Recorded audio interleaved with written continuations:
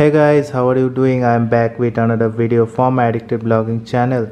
And in this video i will be telling you guys that a lot of guys are facing issues with installing third-party custom watch faces in amazfit gts 2 mini. So in this video we will see what can be done in that case. So this video will be a sick video guys as always. And if you are taken to see us don't forget to like and subscribe to my channel and hit that bell notification up because i will be bringing more videos like this. So the issue people face while installing custom watch faces is they install the notify app but once they go into the notify app and go into this watch face option they click the custom watch face they want to install but when they click on install it will not be getting installed. There will be a 0% sign and it will show that it is not getting installed or some error message in there. So this issue has been faced by a lot of people here. So i am going to give a solution for that so first of all if you want to install any custom watch face in your Amazfit GTS 2 mini make sure you have installed the Zepp app first.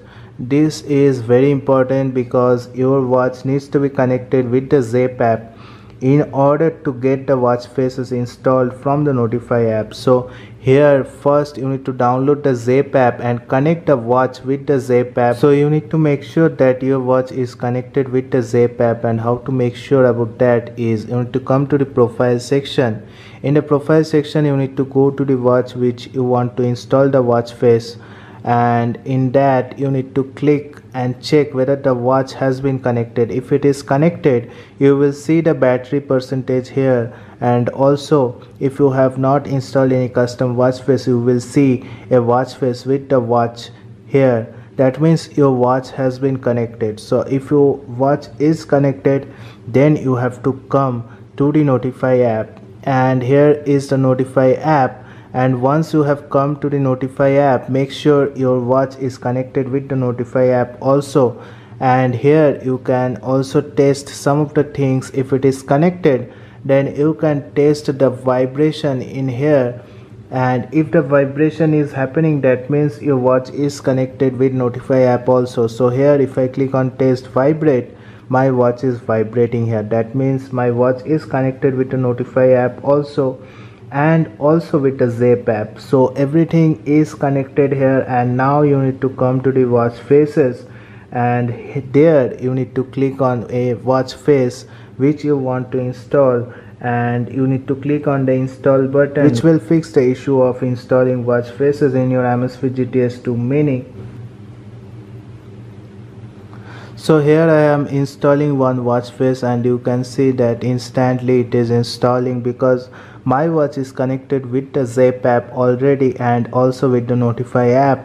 Then only your watch face will be getting installed. Otherwise it will throw a error or it will show Amazfit not connected. In that case you have to make sure that your watch is connected with the Zepp app and also the Notify app and you need to test some of the functions like test vibrate and other functions to check whether it is connected with the Notify app properly or not once it is connected you need to click on the watch face and click on install. And here you can see the watch face is installed the new watch face.